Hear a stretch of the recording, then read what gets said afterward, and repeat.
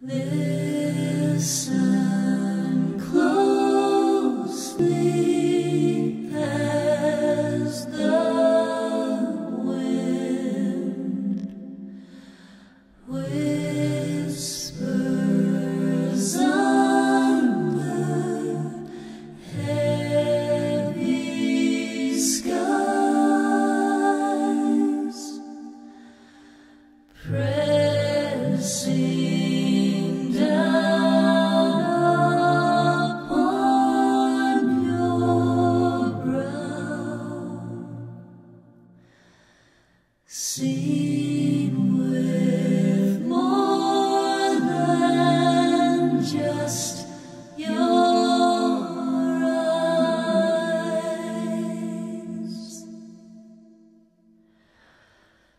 No.